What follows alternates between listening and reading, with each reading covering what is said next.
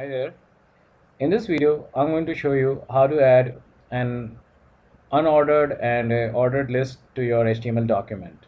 Sometimes you just need to add quick lists to your HTML web page and you don't want to call a developer to do that and it's very basically a very simple task to add a list to your HTML document.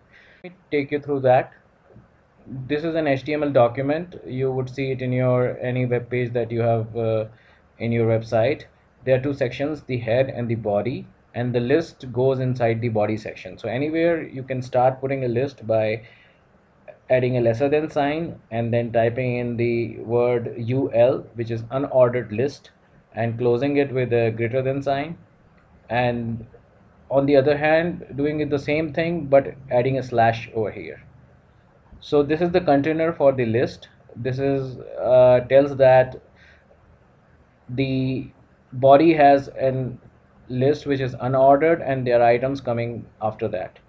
To add an item all you need to do is the same thing the brackets uh, the lesser than and greater than sign and inside that is tag called as li and the opposite the closing tag is called as the slash li inside that you write your list items for example orange. To add a second item you add another fruit. And third item.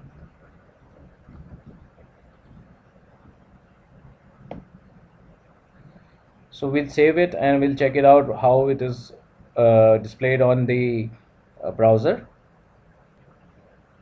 So as you can see the list has been outputted. There's a default dot which is because of the default styling of the browser. And the items are orange banana and grapes and they have been put as a list. So uh, this is called as the unordered list. Now what if you want to use one two three instead of these dots? All you need to do is start another list and call it ol so ol is for order, ordered list and uh, it is closed by the slash ol tag. And inside you do the same stuff. I'll just copy it from here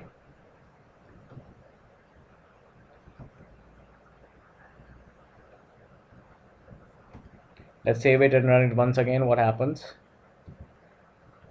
So as you can see there's a numbered list of 1 2 and 3 now there are a lot of ways of formatting this thing and you can style these lists in a multiple number of ways but we are not going to go much detail into it right now.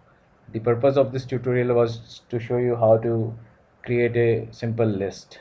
So to repeat create a ul tag and a slash ul tag and inside that create li tag and the slash li tag and between the slash li you can put your items right here. And if you want to uh, create a numbered list use ol as your tag and inside do the same thing. I hope that make uh, things easier for you. Thanks for watching